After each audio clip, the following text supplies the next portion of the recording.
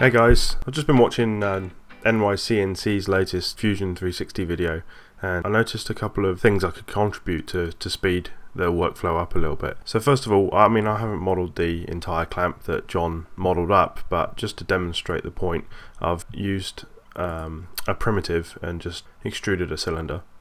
And I wanted to show that you can place a hole instead of drawing a circle and extruding it. Um, good um, modeling practice is to use a hole feature if, if the CAD product has got one, um, and Fusion 360 does. And it's a quicker way of generating holes and a, and a more precise way of generating them than using a sketch. So the other benefit is, and this is a difference actually between Fusion 360 and Inventor, and, and is more like SolidWorks in that regard. Um, I can place a hole onto a cylindrical face. So all I need to do is select the face. I can change the diameter of the hole, um, or type in the diameter that I want. So let's go with a 15, 15 mil diameter hole.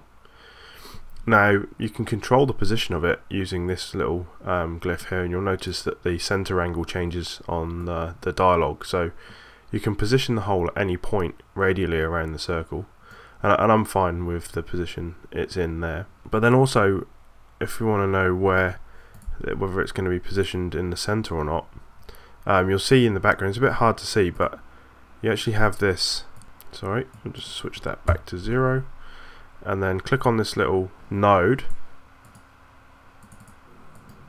he says.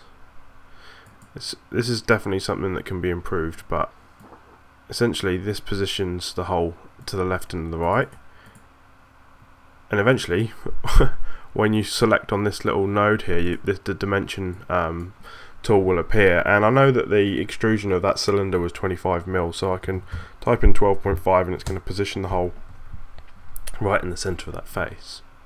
And then all the other options uh, are available for the hole. So that's that. So complete that and now I've got a perfectly modeled hole um, that I can use to in my in the cam side of uh, Fusion 360 now if I just carry on through my timeline here actually now I've got a duplicate hole so I can I can delete that. Um, I've just added a hole in the middle here just to to, to um, clean out the inside of the model. And I've created a sketch just to replicate that slot that John uh, John had in his and I've only selected that center profile uh, and extruded it down so I don't need to trim off I could dimension everything but I don't have to trim it off because uh, Fusion 360 will find the intersection between the model edges and the sketch again in a similar way to SolidWorks Alright, so going over into the cam environment one of the different things that's different about Fusion 360 and also Inventor HSM um, are the, the contour selections. So um, John touched on that in his video, um, and in the comments as well. Few, few people have pointed out that um, this method of um, adjusting the the contour selection. Um, so that creates the open profile. Now somebody else rightly pointed out that if you hold down Alt you can immediately select a single edge.